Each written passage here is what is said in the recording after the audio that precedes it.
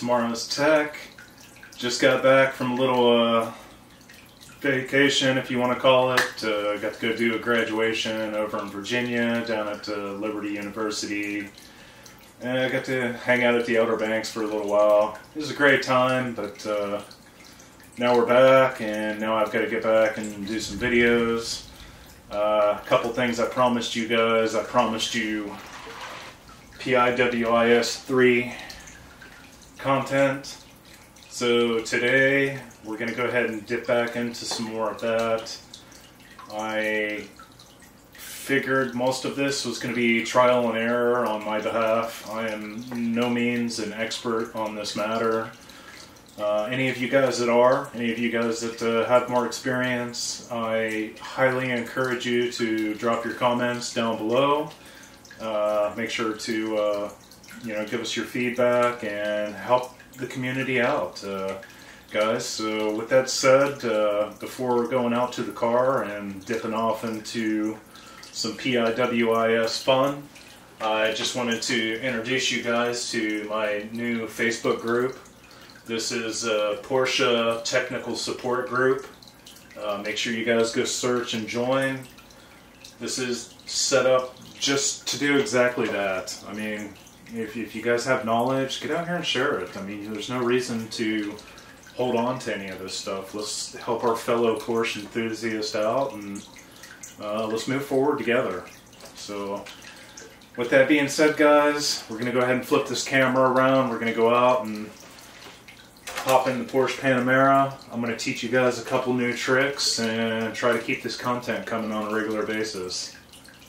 Alright guys, so real quick uh, before we go hop in the cab and start hooking up the PIWIS 3 I just wanted to show you real quick here. This is my power supply unit that I've built. If you guys have a power supply unit or the proper power supply unit, great. If not, and you're new to the PI, uh, PIWIS, uh, make sure you get you one of these. You can watch this video right here, and this will teach you how I made this one right here. You can do it for under 100 bucks, or typically the models that you're going to need probably cost you $600 up to $2,000, depending on which one you get. So make sure you at least get a 60 amp. It needs to be adjustable. You you really want something that's going to be 13.5 to 14.5 volts. Uh, we have this one set up at right now. I think about 14.1. So it's adjustable. you can check all that out in the other video. But we're going to go ahead and get it hooked up.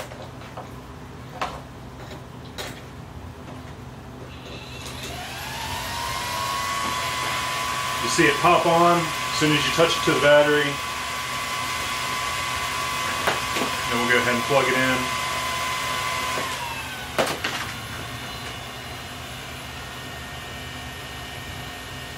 in. now as it starts to build up, uh, it, right now it's at 12.6 and you'll see it'll just slowly start raising.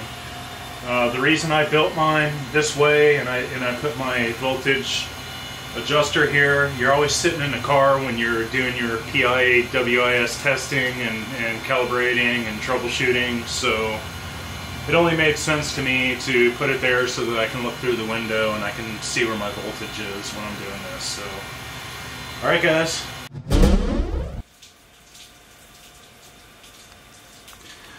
Alright guys, I had a little bit of a technical error. I came out and started shooting this video and I don't know if I lost any of the video footage so I'm gonna start again. I had to take the other memory card out.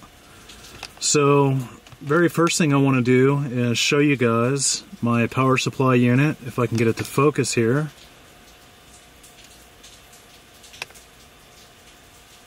There we go. There's my power supply unit and that is why I had the voltage indicator on the outside so I can sit in here and look at it from inside the cab. Right now it's at 14.3 which is perfect for programming with the PIWIS. Alright, so now I'm going to move you back down here. Alright, so here's the home page of my PIWIS 3.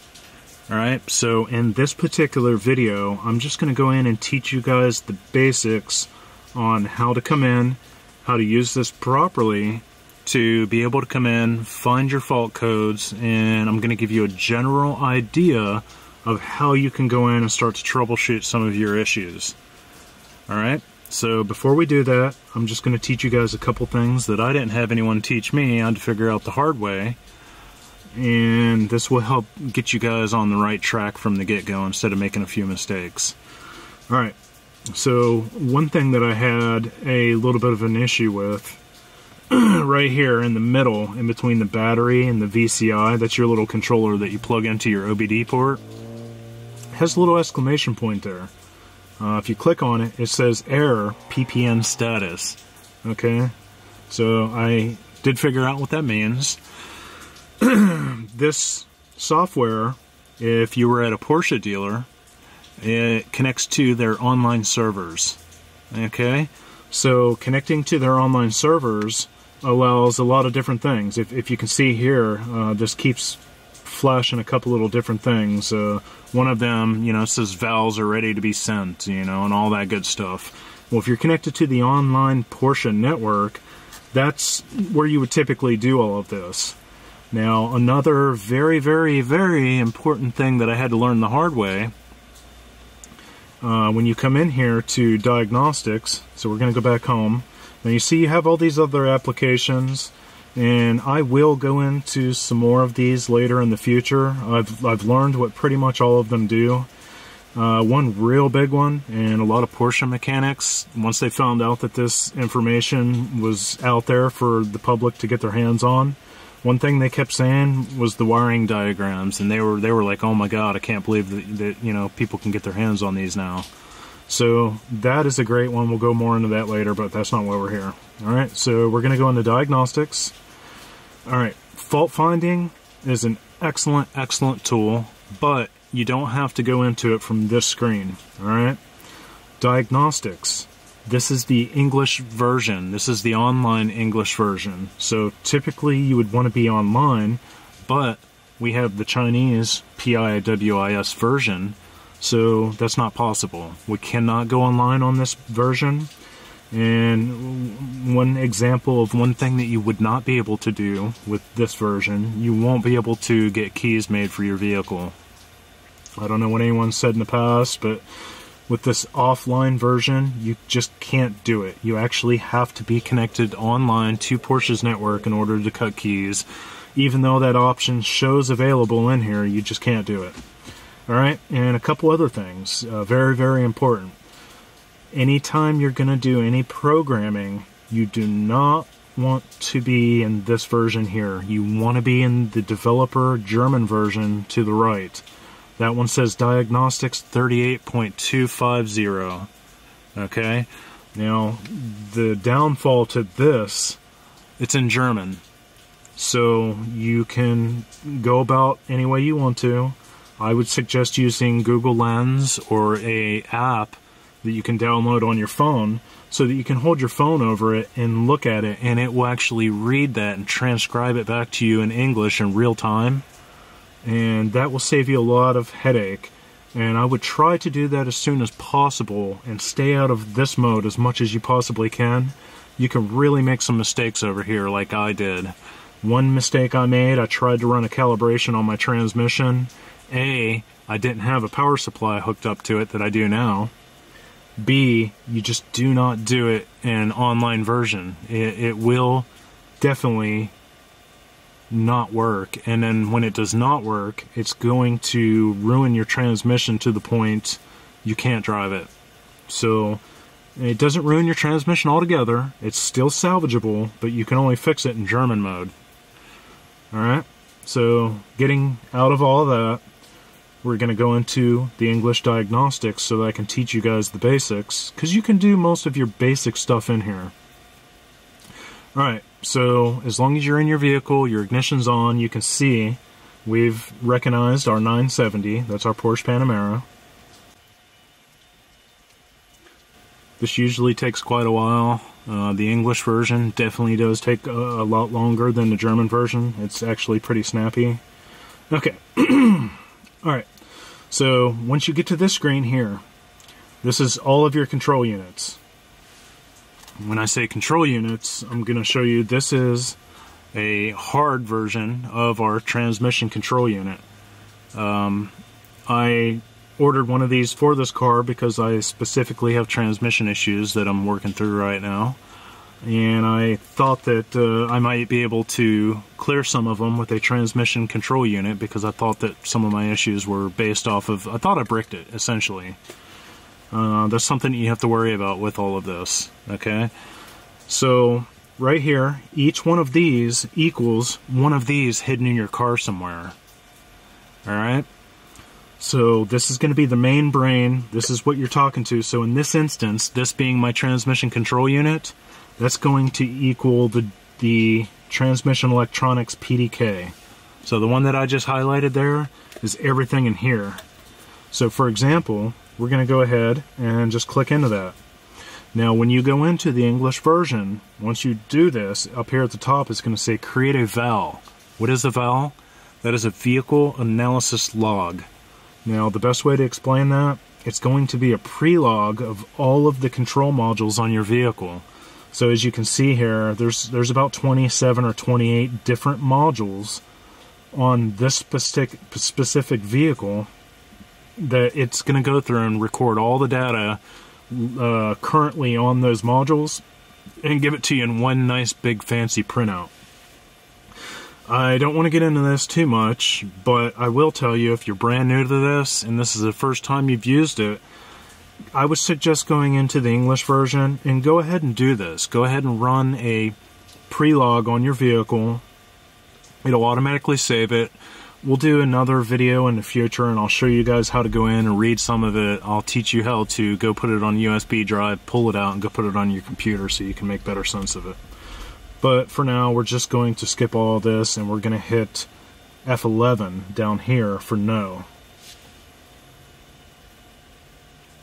Now, when you go in developer developer mode in German, um, it doesn't even ask you for that, and it's so much faster logging in. This takes a while.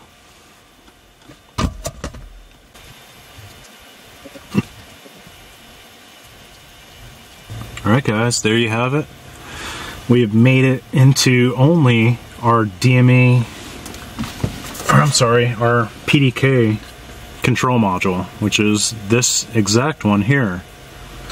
So inside of this module, you're going to notice that we have three different codes. This blue one down here, if any of you guys are experienced with the PIWIS 3, this may even be on the 2, I don't know. Uh, but any of you guys with any experience know what this blue icon is right here? There's no column indicator for this, so I don't actually know what that is. Um, and I don't know. I, I would really like to know what that is, and I'm sure you guys would too. I don't really know what that is, and it kind of irritates me a little bit, but it's all good anyways, uh, I'm going to go in and just kind of show you uh, the basics now. So really, this is everything transmission on this particular control module. We've got three issues here. Now, one thing that I can tell you guys, some of these issues could be created by something else unrelated that could pop into this. So, as you can see here, check PSM control unit fault memory, okay? So the PSM, that that's our uh, air level suspension system. So other things can actually pop up and, and into some of these control modules, and it's just going to be taking a chess piece off of the board at a time in order to figure a lot of this stuff out. All right, but to make some of this easier, I'm just going to go ahead and show you real quick. Uh, this was just one particular item uh, it's going to make it a little easier for me to show you how to drill down, but today uh, I want to go back, so we're going to hit Overview,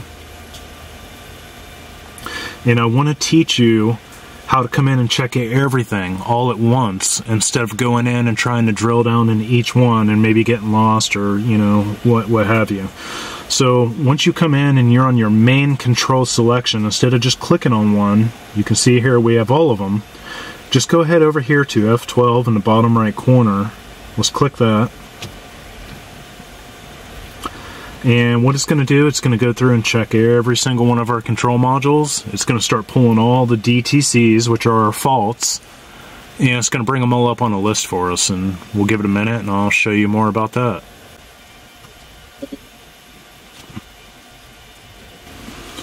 Alright guys, so the computer has went through, it's detected all of our modules. Not all versions have been detected.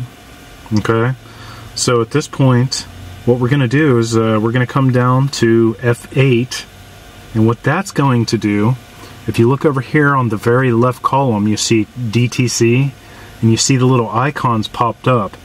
Those are all of your control modules that have a fault code on them. Alright, and if you notice, by hitting F8, it selected only those that have fault codes. Okay?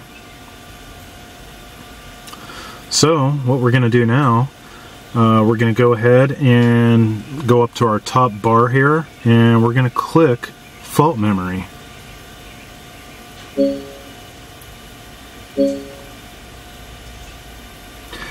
Alright, so now you're in the screen that is showing you every single fault code on your vehicle. And so as you can see, I've got quite a lot to work with. So we're going to have plenty of teachings here. this is going to be a lot of uh, lot of stuff to go through. All right. So when you're in here and you're looking at this, you'll notice mine's fluctuating a little bit because some of the codes may be coming in or out. I, I don't understand that part yet. But Alright, so for instance, I'm just going to go down to something easy. Alright, so if you notice here, PCM. PCM is going to be your main navigation system in your car, your, your radio navigation control unit system. Alright, so you see here that I've got one of those blue marks on there, and I still don't know what that means. But it's going to say that uh, there was a fault received from my park assist control unit. Okay, so if you look down here, there's our park assist.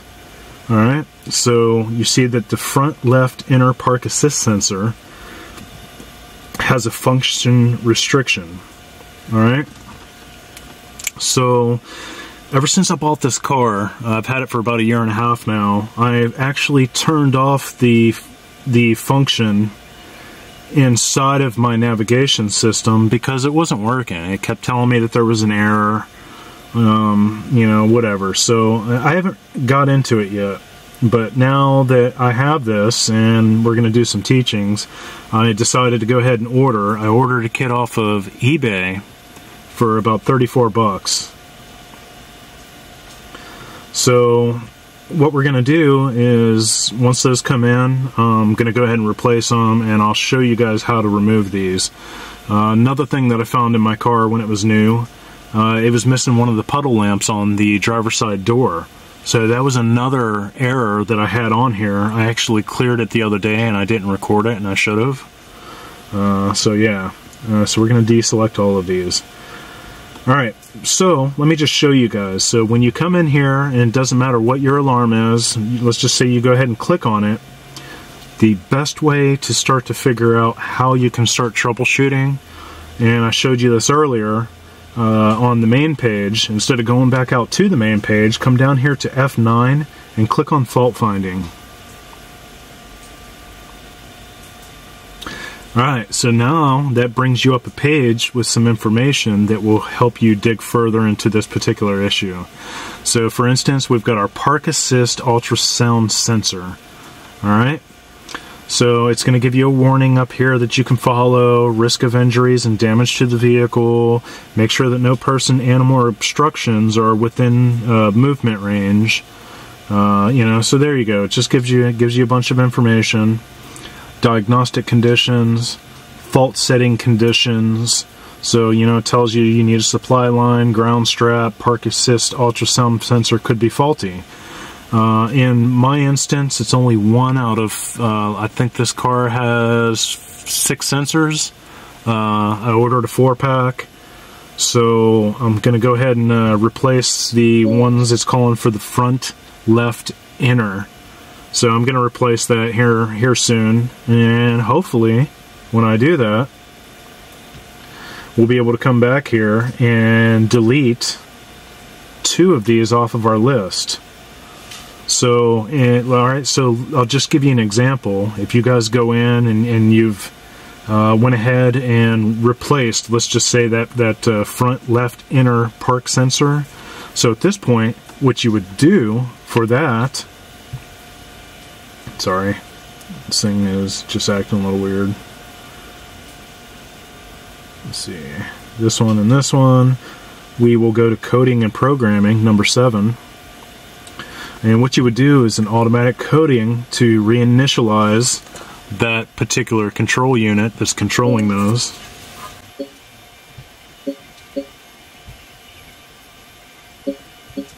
Okay, well, I thought I was only going to do those, but it's actually doing all of the control modules that I had selected from the beginning that had fault codes on them, and that's okay. That's that's fine. It's just reinitiali- uh, reinitializing those modules this is the same thing that you would do, and the same thing we were going to do once we replace those. Okay, so you see it was successful. Every single one of these control units just got automatic coded. So we're going to click next. We're going to go back to fault memory. And at this point you can see some of them uh, turned a different color here on active, which means that they are no longer active. Okay. So we're just going to go ahead and hit delete. And now we're going to try to delete all of these, these codes.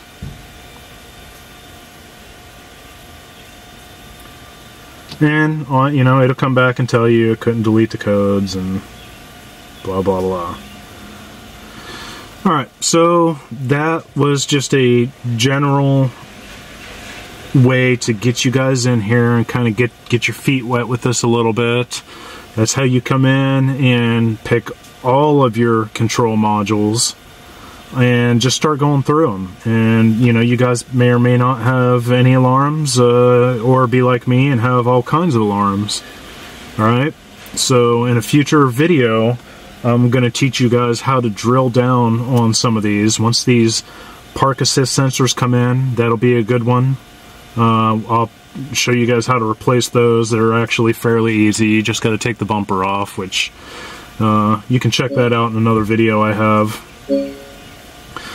But this gives you a general idea of how to come in, how to look at these, how to use your fault finder to give you information on how to start doing your troubleshooting, and just go from there. Alright guys, that's all I've got for you on this video to keep it short.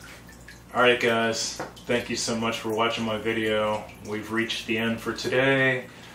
I hope that you guys are a lot more confident in your PIWIS or if you're looking to purchase one, this gives you a general idea of how to go in and get started and it's going to help eliminate some of the issues that I ran into starting out.